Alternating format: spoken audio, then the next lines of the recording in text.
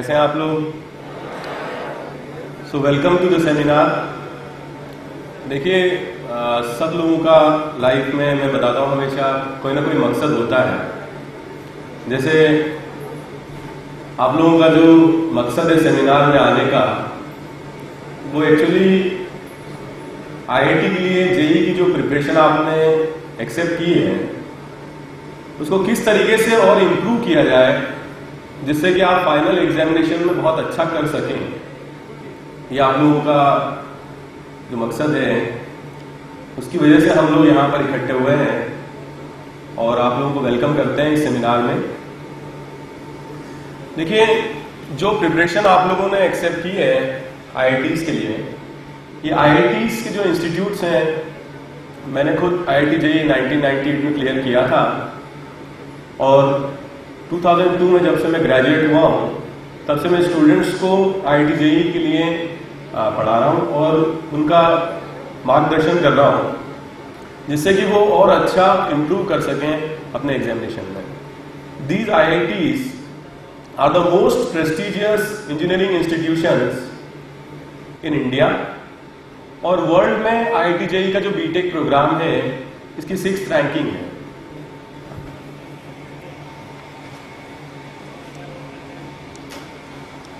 तो अगर हम इस आईआईटी जेई के बारे में बात करें तो पिछले साल 2012 में 5.5 lakh students all over India में इस एग्जामिनेशन में अपियर हुए।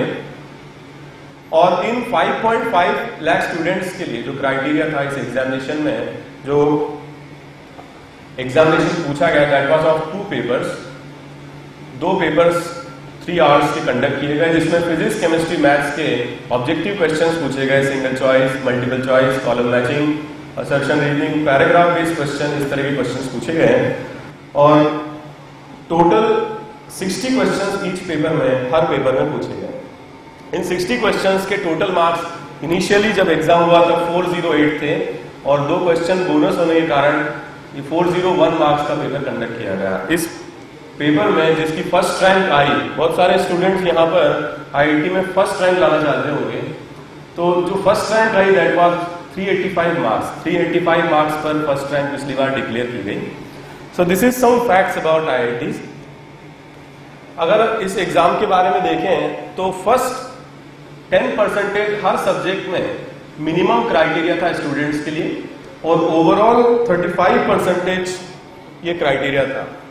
और जिनके 35 परसेंटेज मार्क्स एग्ज़ाम में आए उनको टॉप 18,000 में रैंकिंग दी गई। इस 18,000 रैंकिंग में से टॉप 10,000 स्टूडेंट्स आईआईटी के लिए सिलेक्ट हुए और उनको कोई ना कोई ब्रांच अलॉटेड हुई। ए आई ट्रिपल की एग्जामिनेशन पिछले साल कंडक्ट हुए जिसमें 10 लाख स्टूडेंट्स अपियर हुए। और अब ये दोनों एग्जामिनेशन इस साल से मर्ज हो चुकी हैं। And it will be conducted in JE mains and JE advanced type of format. JE mains वही बॉडी कंडक्ट करेगी, जिसने आई ट्रिपली कंडक्ट किया था और JE advance body I I T JE जो जेई पहले कंडक्ट करती थी, वो टी बॉडीज कंडक्ट करेंगी इस साल इस एग्जामिनेशन में 15 लाख के लगभग स्टूडेंट्स अपियर होंगे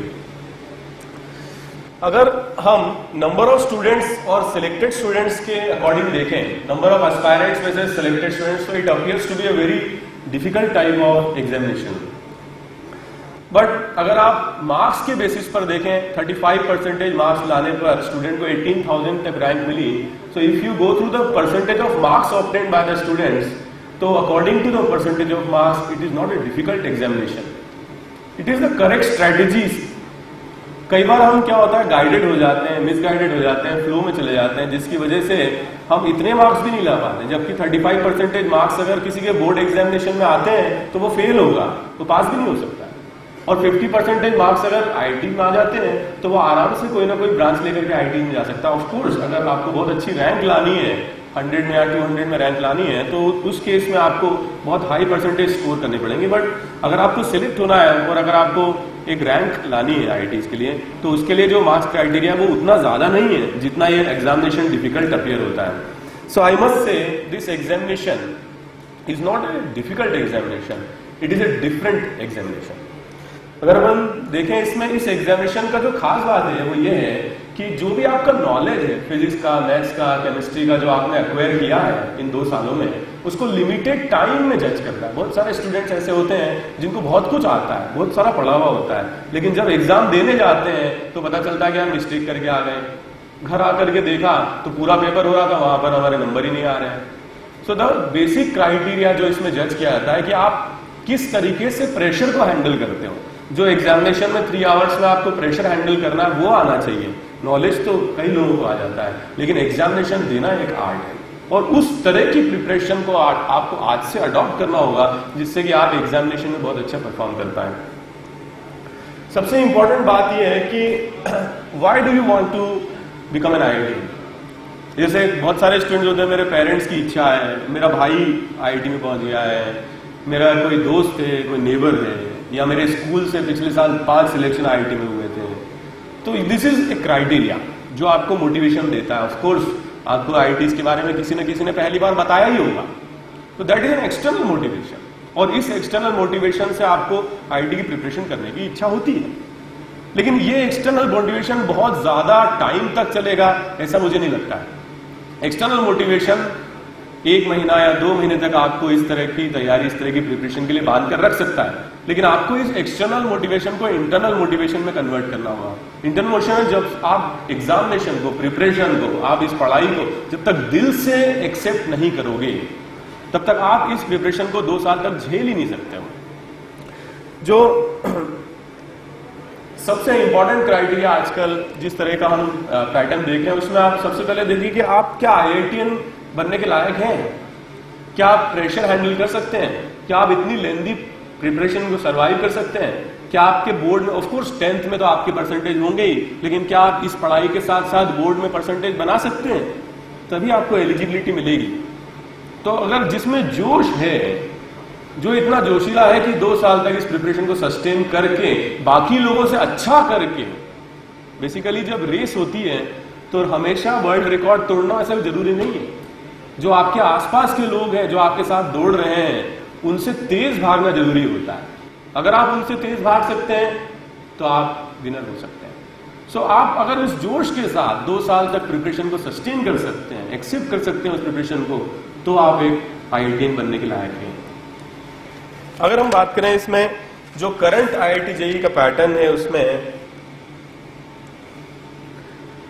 फिजिक्स केमिस्ट्री और मैथ्स के कॉन्सेप्चुअल क्वेश्चंस पूछे जाते हैं। लेकिन ये जो पैटर्न है थोड़ा सा पिछले सालों में चेंज हुआ है और ये पैटर्न सब्जेक्टिव से लेकर के ऑब्जेक्टिव तक आया है। मगर सब लोग बोलते हैं एग्जामिनेशन का जो लेवल है वो कम हो गया इजी हो गया, ऐसा कुछ नहीं है। जो सब्जेक्टिव टाइप के क्वेश्चंस करने के लिए कॉन्सेप्चुअल लेवल चाहिए होता है, वही ऑब्जेक्टिव लेवल के लिए भी होता है। ये डिपेंड करता है कि क्वेश्चन का लेवल कितना है।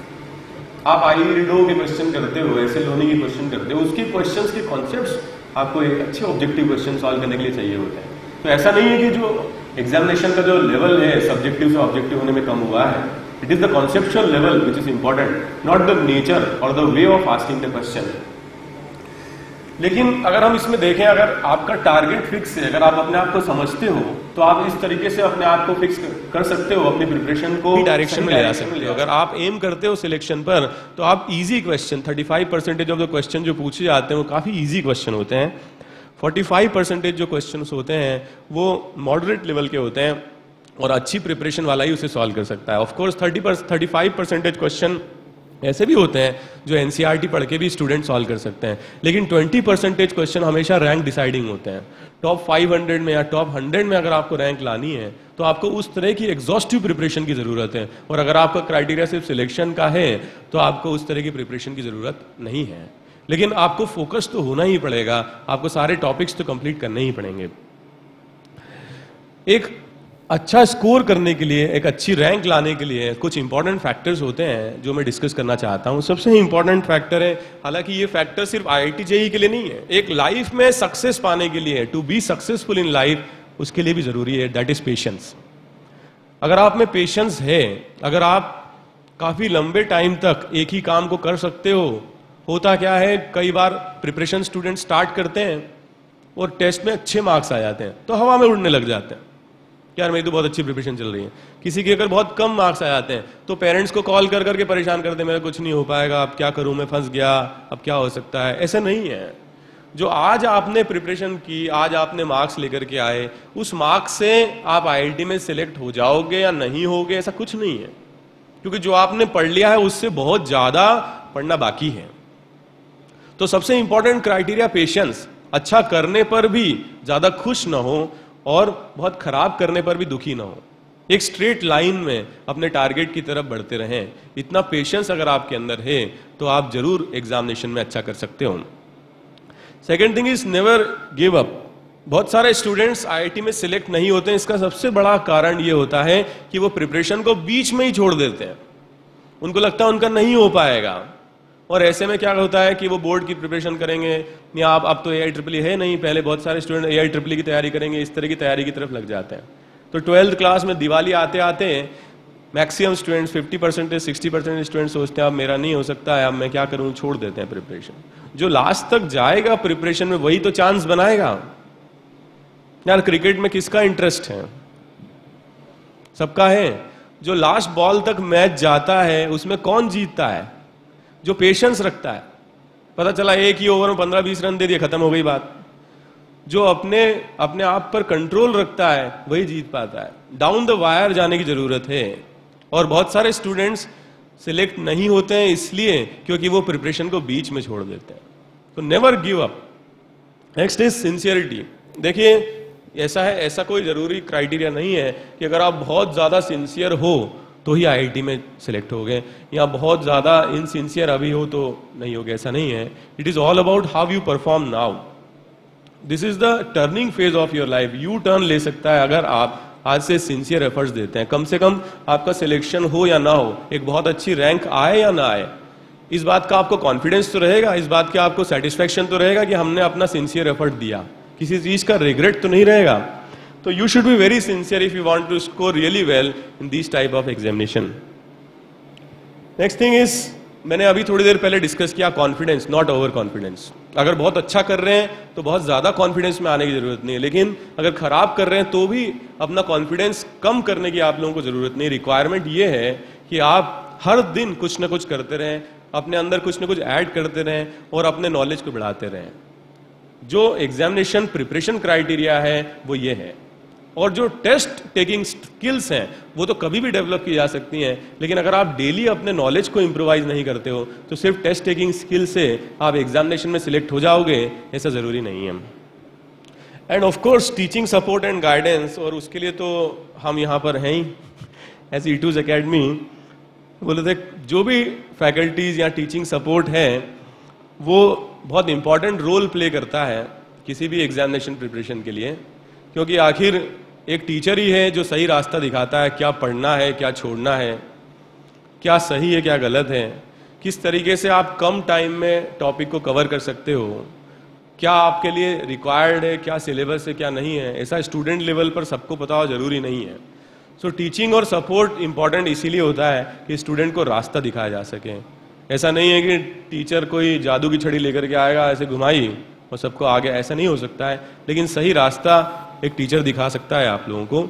और टीचिंग सपोर्ट का एक बहुत इंपॉर्टेंट रोल होता है। और जिसके लिए हम यहाँ पर हैं सिलेक्टिंग ए गाइड तो सबसे इंपॉर्टेंट क्राइटेरिया जो आपके गाइड में, जो आपके टीचिंग सपोर्ट में होना चाहिए that is it should be focused on concept development जैसे आपने प्रिपरेशन स्टार्ट की और पढ़ाया जा रहा है कि आपको ये क्वेश्चन सॉल्व करना है ये क्वेश्चन सॉल्व करना है आपको होमवर्क दे दिया। और क्वेश्चन सॉल्विंग से ये बोला जाए कि यार क्वेश्चन सॉल्व करने से कॉन्सेप्ट डेवलप होंगे, ऐसा नहीं हो सकता। है कॉन्सेप्ट डेवलप होंगे तो क्वेश्चन होंगे। ओवर बर्डन आप क्वेश्चन से हो जाए, ये ज़रूरी नहीं है। लेकिन आप कॉन्सेप्चुअली साउंड हो, ये बहुत ज़रूरी है। So your teaching methodology should be और teaching assistant should be such that it develops your concept not just problem solving approach second thing is a of course a guide should be experience enough to train I T J scholars second is should maintain balance with all the subjects पता चला आपको maths बहुत पसंद है। एक student को लग रहा है कि यार मैथ्स बहुत अच्छी लगती है। दिन रात मैथ्स ही मैथ्स कर रहे हैं। ऐसे लूनी कर लिया, आपने एल्जिब्रा कर लिया अच्छा लग रहा है, बहुत अच्छा। इसी साल पता चला फ़ंक्शंस कंप्लीट करके बैठ गए। और केमिस्ट्री पढ़ ही नहीं रहे हो।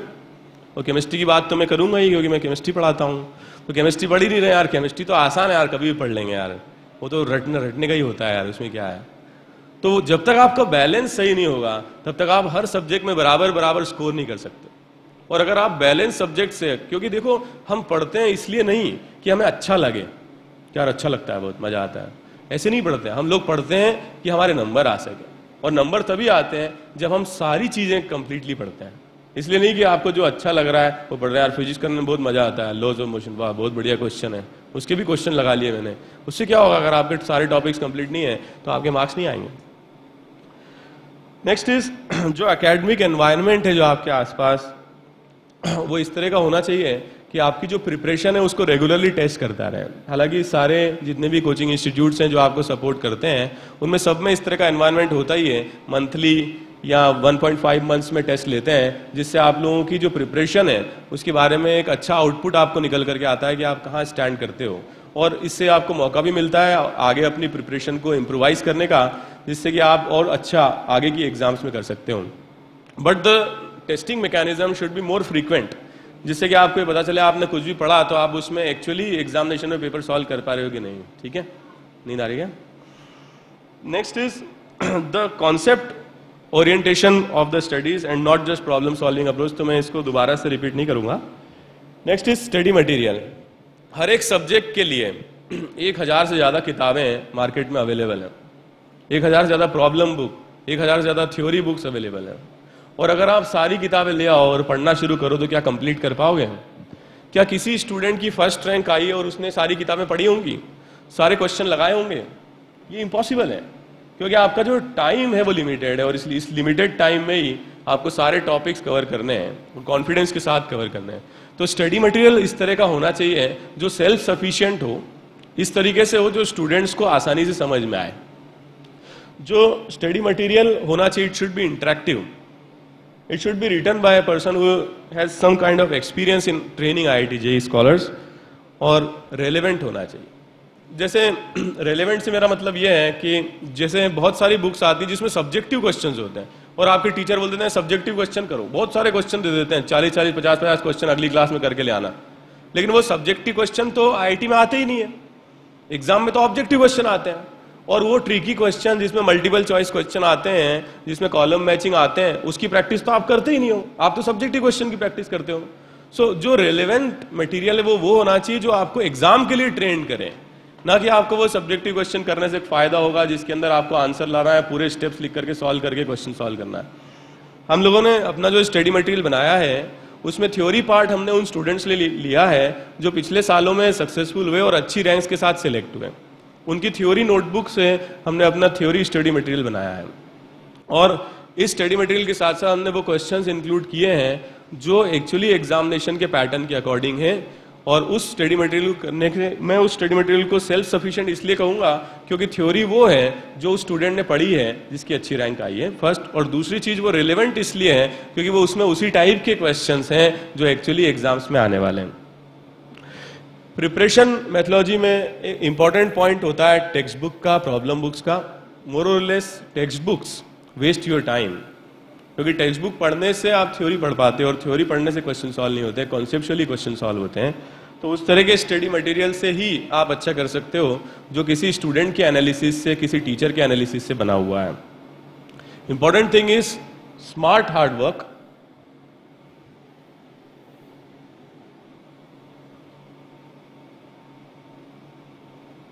smart hard work से मेरा मतलब यह है कि जैसे आज हमने टॉपिक पढ़ना शुरू किया तो मोशन इन वन डी पढ़ा, फिर मोशन इन टू डी पढ़ा, फिर लॉज ऑफ़ मोशन पढ़ा, फिर आगे हम लोग फिजिक्स में चले गए। अब आपसे पूछा जाए कि यार दो या तीन महीने के बाद हम मोशन इन वन डी का कोई बहुत अच्छा क्वेश्चन आपको दे दें, और आप बोलो कि मुझे तो रिवाइज करना पड़ेगा, और मैंने तो रिवीजन किया नहीं तो मैं क्वेश्चन कैसे सॉल्व करें? या आज आपने मोल कंसेप्ट पढ़ा, फिर एटॉमिक स्ट्रक्चर पढ़ा, फिर बॉन्डिंग पढ़ा, और फिर उसके बाद रिडॉक्स पर आ गए और आपसे बोला जाए कि नहीं, आज आपका मोल कंसेप्ट का टेस्ट लेंगे। और बोलो, नहीं सर, मैं रिवाइज करके नहीं आया हूँ, आप टेस्ट कैसे दूँ? रिवाइज करके आऊँगा, फिर टेस्ट दूँगा। So this is static preparation कि आपने कोई चीज़ पढ़ ली, आपको समझ में आ गई क्वेश्चन कर लिए, और फिर आप उसको भूल गए। आपने रिविजन करना, उसका बंद कर दिया। अब तीन महीने बाद आपको फिर से रिवाइज करना पड़ रहा है। इसकी जगह पर अगर ऐसा होता कि आप उस टॉपिक के कुछ क्वेश्चन सिलेक्ट करके रख देते हैं। और उन क्वेश्चंस को सिलेक्ट करने के साथ साथ आप हर मंथ में या हर वीक में कुछ चार या पाँच या दस क्वेश्चन उस टॉपिक के करते हैं। जिससे कि आपका वो रिवीजन होता रहता आप दस क्वेश्चन करेंगे, अच्छे क्वेश्चन उससे आपका जो पूरा सब्जेक्ट है, उसका रिवीजन हो जाता है। जो भी आपने पढ़ा है, उसके बारे में आपको आइडिया लग जाता है, आपने क्या क्या पढ़ा है। This makes your preparation dynamic और इससे आपको बार बार जब आप टेस्ट की तैयारी करोगे तो पता चला आपको रिवाइज करना है, उस चीज़ को रिवाइज करना है, वो आपको ज़रूरत नहीं पड़ेगी। So that makes your preparation dynamic important बात है, जो भी हम काम करें एंजॉय करें, बहुत सारे स्टूडेंट वहाँ पर हँसी मज़ाक कर रहे हैं अच्छा एंजॉय भी कर रहे हैं क्लास में तो मुझे भी अच्छा लग रहा है एंजॉयमेंट के लिए तो हम हैं ही यहाँ पर। तो next is you should be really focused focus means what whatever you think you do it ठीक है, अगर आपने ये सोच लिया कि आपको आई टी करना है तो आपको सिर्फ़ आई टी के बारे में ही सोचना है इन दो सालों में। उसके बाद आप कुछ भी कर सकते स्टूडेंट्स क्लास में बोलते हैं sir student of the year दिखाने ले चलो। ठीक है वन से वाइल इट इज़ गुड मतलब एक महीने में देख लिया, ठीक है। हर महीने आपने, हर वीक में, हर दिन बोलने लगे सर पार्टी पार्टी पार्टी क्या है ये? कोई भी joke joke sir joke joke joke सुना सर तो दिस इज़ बेसिकली मतलब जो भी आपने सोचा है, उससे डायरेक्शन जो है हटके जा रहा है। एक टीचर के पास सिर्फ़ 1.5 आवर होता है पढ़ाने के लिए, डेढ़ घंटा होता है पढ़ाने के लिए। और उसके लेक्चर्स बहुत लिमिटेड होते हैं। अगर आप इस तरीके से टाइम वेस्ट करते हो, ऐसा नहीं है। टीचिंग में भी ह्यूमर होता है। टीचिंग में भी आराम से स्टूडेंट्स को हंसाया जा सकता है। लेकिन अगर आप ये सोचो कि यार रोज ही जोक्स हो, रोज ही यार आपको हर वीक के अंदर मूवी दिखाने ले जाए पार्टी हो तो दैट इज़ रॉन्ग तो next is solve as many question as you can अगर आपके कॉन्सेप्ट क्लियर हैं, अगर आपने कोई सब्जेक्ट पढ़ लिया है टॉपिक पढ़ लिया है तो जितना आपके पास टाइम है, उसके अकॉर्डिंग आपको मैक्सिमम क्वेश्चंस करने चाहिए। बहुत सारे स्टूडेंट एक्सरसाइज टू छोड़ देते हैं। Exercise one three five one three four के क्वेश्चन कर लिए। फोर के क्वेश्चन कर लिए मतलब मज़ा आ गया। फोर के क्वेश्चन कर लिए मतलब आई में सारे क्वेश्चन जितने आते हैं, वो सब हो गए, बस मज़ा आ गया। तो ऐसा है कि बहुत सारे स्टूडेंट नहीं भी कर पाते हैं किसकी स्पीड स्लो होती है नहीं भी कर पाते हैं। तो अपने अपने टाइम के अकॉर्डिंग अपनी अपनी एनर्जीज के अकॉर्डिंग अपनी अपनी कैपेबिलिटीज के अकॉर्डिंग आपको मैक्सिमम क्वेश्चन अटेम्प्ट करने चाहिए। Important next point is the documentation बहुत ज़्यादा टाइम आप लोगों का नहीं लूँगा। ऐसे बहुत सारे स्टूडेंट्स पढ़ने आते हैं, वो आगे बेंच पर बैठ जाते हैं और अलग अलग कलर्स के पेन निकाल लेते हैं। और अंडरलाइन करेंगे रेड से, ब्लैक से लिखेंगे, फिर उसके बाद में मार्क बनाएँगे, फिर उसके बाद में ये सब बहुत सारे स्टूडेंट क्या करते हैं, लूज शीट ले आते हैं यार यहाँ तो हम रफ करते हैं और घर जा करके हम फेयर नोटबुक में लिखते हैं। जिस चीज़ के लिए आपने साढ़े चार, पाँच घंटे लगा दिए डेली पढ़ने आ गए हैं, वो रफ कैसे हो सकता है? तो डॉक्यूमेंटेशन इस तरीके से होना चाहिए क्योंकि इस डॉक्यूमेंटेशन को आपको यूज़ करना है। आफ्टर 1.5 पॉइंट ईयर जब आपको एग्ज़ाम देनी है रिवाइज तो करोगे ही। तो उस रिवीजन के वक्त आपको ये सब डॉक्यूमेंटेशन काम आएगा। और इतना टाइम अगर आपने वेस्ट कर दिया लूज और आपका रफ और ये फेयर और फिर ये क्या होगा रफ और फेयर तो कुछ होता ही नहीं सिर्फ़ फेयर ही फेयर होता है। तो you should not waste so much of time for this kind of documentation next is problem solving जो अप्रोच है आप लोगों की, वो इस तरीके से होनी चाहिए। जिससे कि आपका जो क्वेश्चंस का जो लेवल है, वो हर क्वेश्चन के साथ बढ़ता जाए। एक क्वेश्चन कर लिया, उसी तरह का दूसरा कर रहे हैं, फिर उसी तरह का तीसरा कर रहे हैं। उससे आपका बहुत ज़्यादा टाइम वेस्ट होगा। ड्यूरेशन ऑफ़ स्टडी जब बोलते हैं कितने घंटे पढ़ें जिससे कि हमारा सिलेक्शन हो जाए। तो ऐसा है ना कि जैसे आप स्कूल मतलब जो भी आपके स्कूल से अगर वहाँ जाते हैं और कोचिंग जाते हैं, इसके अलावा जो भी आपका टाइम होता है, उसमें खाने पीने का टाइम छोड़ दें। और बाकी जो ज़रूरी काम है, उनके टाइम छोड़ दें। इसके अलावा आपको पढ़ाई के बारे में ही सोचना चाहिए। क्योंकि हम जब सोते हैं, तब भी हम उसी क्वेश्चंस के बारे में ही सोचते हैं, जो हमने दिन में किए होते हैं। So full occupation of mind full occupancy of mind is really very important क्योंकि जो आप बीमार हो गए जो किसी घर में किसी की शादी होगी, उस टाइम पर तो आप अवॉइड ही नहीं कर पाओगे टाइम को।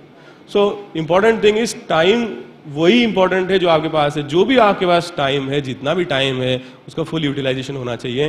क्राइटेरिया ये नहीं है कि 10 घंटे पढ़े या 12 घंटे पढ़े या 14 घंटे पढ़े। उससे कुछ नहीं होना जाना है। अगर आपका माइंड ऑक्यूपाइड है स्टडीज़ के लिए that is more than sufficient so already मैंने ये सारी चीज़ें डिस्कस कर ली हैं और एक समराइज में कर रहा हूँ आप इसको। इसमें आपको अपनी मिस्टेक्स को आइडेंटिफाई करना है। लूड शीट्स अवॉइड करें। सारे सब्जेक्ट्स को इक्वल वेटेज दें। अपना एकेडमिक एनवायरनमेंट अच्छा रखें। बहुत सारे स्टूडेंट्स यहाँ पर इस, बहुत सारे स्टूडेंट्स यहाँ पर इसलिए भी आए हैं कि जल्दी से ख़त्म हो और गिफ्ट मिले। तो एकेडमिक एनवायरनमेंट में ये बहुत इंपॉर्टेंट हो जाता है कि आपका पर्पस क्या है। अगर आप इसलिए गिफ्ट के लिए तीन घंटे वेस्ट कर सकते हो तो आप क्या आई सेलेक्ट गए हमें तो ऐसा लगता है कि जो भी स्टूडेंट यहाँ आया है, उसका पर्पस क्लियर है। हम लोगों का भी पर्पस है एज ए फैकल्टी आप जानते ही हो। कोटा में फैकल्टीज का क्या पर्पस होता है? बट आप लोगों का जो पर्पस है, अगर आपका तीन घंटे का गिफ्ट का पर्पस है तो फिर आप आई सेलेक्ट नहीं हो सकते next important thing is time management जैसे जब मैं आज भी इस चीज़ को फॉलो करता हूँ, जब मैं सुबह उठता हूँ तो एक इंपॉर्टेंट टास्क लिस्ट बनाता हूँ, मुझे दिन भर में क्या क्या चीज़ें कंप्लीट करनी है। और 10 10 वर्क्स में हमेशा हर दिन कोड करता हूँ।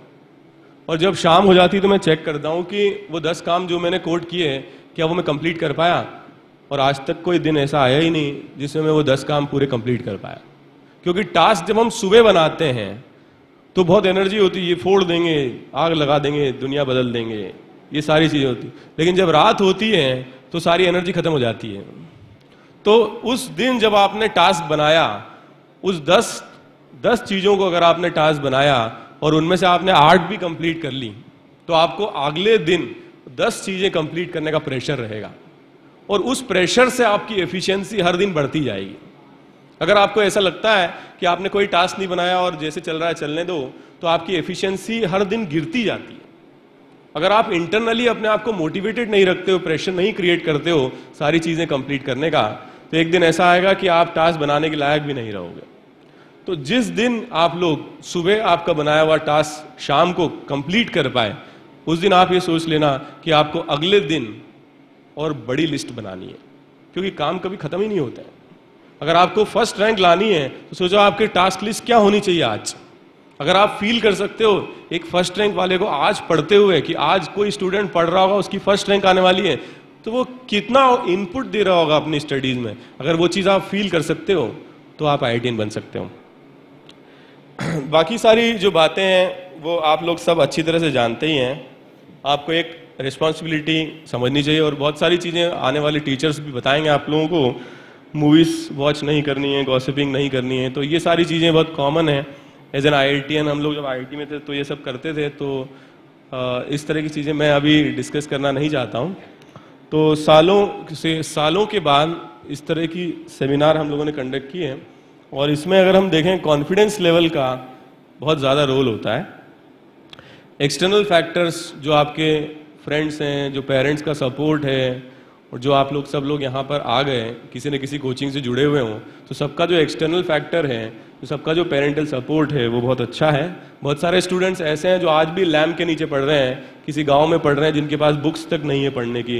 लेकिन वो भी एक दिन आई टीम सिलेक्ट होंगे, अगर उनका इंटरनल मोटिवेशन इतना ज़्यादा है आपका एटीट्यूड पॉजिटिव होना चाहिए। हमेशा आप ये ना सोचें कि पास वाला क्या कर रहा है, वो क्या कर पाएगा। आप ये सोचें कि आप क्या कर पाओगे। आप हमेशा पॉजिटिव रहें। अगर आप सोचोगे, सपने देखोगे तो सपने पूरे कर पाओगे। इंटरनली आप हमेशा मोटिवेटेड रहें। इसके साथ में मैं आपकी जो प्रिपरेशन है, उन, उसके लिए आप लोगों को बेस्ट विशेष कहना चाहता हूँ। आप सब लोगों का बहुत अच्छा हो आगे। और आने वाले टाइम में आप सब लोग जो भी सपना लेकर के कोटा में आए थे, उसको पूरा कर पाएँ। यही मेरी शुभकामना इस तरीके से मैं अपनी प्रेजेंटेशन को ख़त्म करता हूँ। And I wish you good luck thank you very much